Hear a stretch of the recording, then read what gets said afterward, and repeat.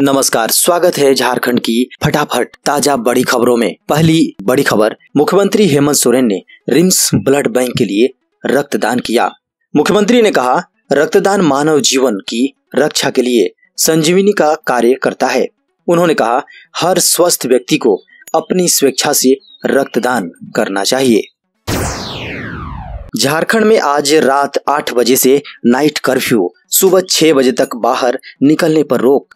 मुख्यमंत्री हेमंत सोरेन ने पूरे झारखंड में नाइट कर्फ्यू का ऐलान किया है। इस दौरान राज्य में रात आठ बजे के बाद तमाम व्यावसायिक प्रतिष्ठानें बंद रहेंगी। आम आदमी के रात आठ बजे से सुबह छह बजे तक अपने घरों से बाहर निकलने पर रोक रहेगी। इसके साथ ही झारखंड में धारा 144 लागू कर दी गई है। पाँच या इससे अधिक व्यक्ति सड़क पर एक साथ नहीं चल सकते। मुख्यमंत्री हेमंत सोरेन ने मंगलवार को समूचे झारखंड में नाइट कर्फ्यू लागू करने का आदेश दिया है। पिकनिक मनाने जा रहा एक परिवार सड़क हादसे का शिकार बारह घायल। दोस्तों, गुमला में आज सुबह ट्रक और पिकअप की भिड़ंत में पिकनिक मनाने जा रहे एक ही परिवार के बारह से अधिक लोग घायल हो गए इनमें से एक की हालत चिंताजनक बताते हुए उसे सदर अस्पताल के चिकित्सकों ने रिम्स रेफर कर दिया है। वहीं बाकी लोगों का इलाज सदर अस्पताल में कराया जा रहा है। परिवार के सभी लोग पिकअप से पिकनिक के लिए बूढ़ा घाट जा रहे थे। आपको बता दें कि यह सड़क हादसा गुमला ज़िले के रायडी थाना क्षेत्र के डोभ डोभी के पास गुरुवार सुबह को हुआ है। कोरोना वैक्सीन लगवाने वालों को सरकार दे रही है पाँच हज़ार रूपए जीतने का मौका। दोस्तों, वैक्सीनेशन के प्रोसेस को तेज करने के लिए मोदी सरकार ने एक कॉन्टेस्ट शुरू किया है, जिसके तहत वैक्सीन लगवाने वालों को पाँच हज़ार रूपए जीतने का मौका दिया जा रहा है।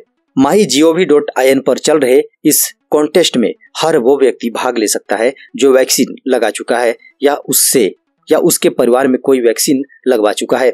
इस कॉन्टेस्ट में हिस्सा लेना, लेने के लिए आपको अपनी या परिवार के किसी मेंबर के वैक्सीन लगवाते हुए फ़ोटो शेयर करनी होगी।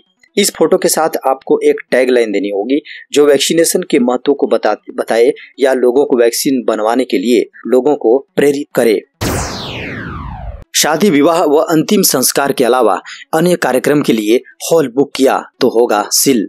दोस्तों 8 अप्रैल से बैंकवेट हॉल में शादी विवाह या अंतिम संस्कार से संबंधित कार्यक्रम के अतिरिक्त कोई अन्य कार्यक्रम के लिए बैंकवेट हॉल बुक हुआ तो जिला प्रशासन उसे सील कर देगा। संचालक पर भी कानूनी कार्रवाई होगी।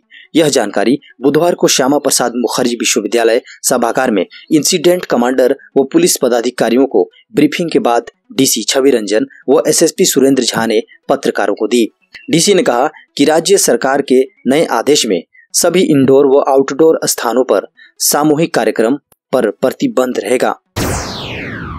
महाराष्ट्र में बिगड़ते हालात को देखते हुए केंद्र ने भेजी तीस स्पेशल टीमें। महाराष्ट्र में कोरोना महामारी का संक्रमण तेज़ी से अपने नए पीक की ओर बढ़ रहा है। यहाँ बिगड़ते हालात को देखते हुए केंद्र सरकार ने 30 विशेषज्ञ मेडिकल टीमें अलग अलग जिलों के लिए रवाना की है। कोरोना विशेषज्ञों की यह टीम राज्य में कोविड से जूझ रहे अधिकारियों को कोरोना कंट्रोल के लिए रणनीति बनाने में मदद करेंगे। इस बीच, महाराष्ट्र में वैक्सीन डोज खत्म होने की कगार पर है। राज्य सरकार के अनुसार, अब यहाँ केवल एक से दो दिन का ही डोज बचा है। पिछले 24 घंटे में, घंटों में अब तक के सबसे ज़्यादा उनसठ मामले सामने आए हैं। 11 से 28 अप्रैल तक न्यूजीलैंड में नहीं जा सकते भारतीय नागरिक। सिंगापुर ने 8000 वीज़ा पर। लगाई रोक। कोरोना के बढ़ते मामलों को देखते हुए न्यूजीलैंड ने भारतीयों के आने पर रोक लगा दी है।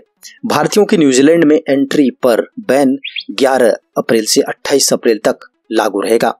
न्यूजीलैंड की प्रधानमंत्री जैसिंडा ऑर्डर्न ने इसकी घोषणा करते हुए कहा कि उनके देश में पिछले 24 घंटे में कोरोना संक्रमण के 23 मामलों में से 17 भारतीय हैं।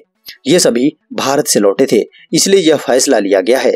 सिंगापुर ने भी भारत में कोरोना के बढ़ते मामलों को देखते हुए 8000 भारतीयों के वीज़ा रोक दिए हैं। ये वो भारतीय हैं जो पिछले साल कोरोना काल के दौरान सिंगापुर से भारत आए थे और अब वापस जाना चाहते हैं।